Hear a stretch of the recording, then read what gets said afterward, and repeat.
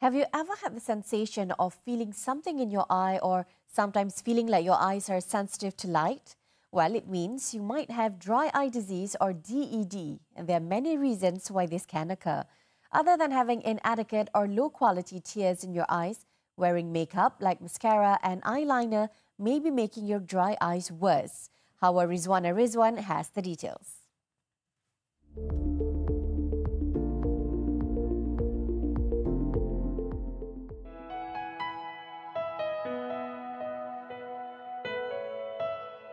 According to the World Health Organization, in every five seconds, one person goes blind. How does this happen?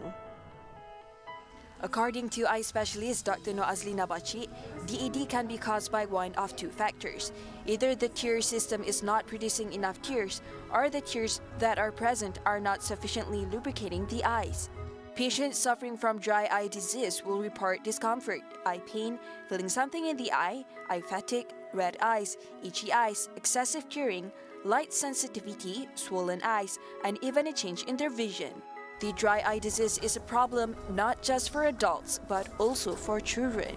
kita dapati aktiviti yang mereka lakukan di rumah seperti memain handphone ya main dengan gadget uh, uh, menonton TV dengan masa yang lama jangka masa yang lama jadi um, aktiviti-aktiviti yang beginilah yang menyebabkan mata itu menjadi kering She added that applying fake eyelashes glue and eyeliner can also cause DED.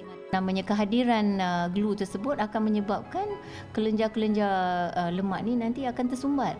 Ha, kerana pembukaan kelenjar tu sangat dekat dengan bulu mata tersebut. Overwearing contact lenses may also cause eye discomfort, and DED is a common problem among contact lens wearers.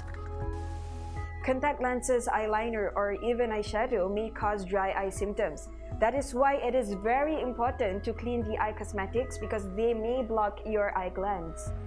Hawa Rizwana Redzuan for Health Segment Nightline TV3.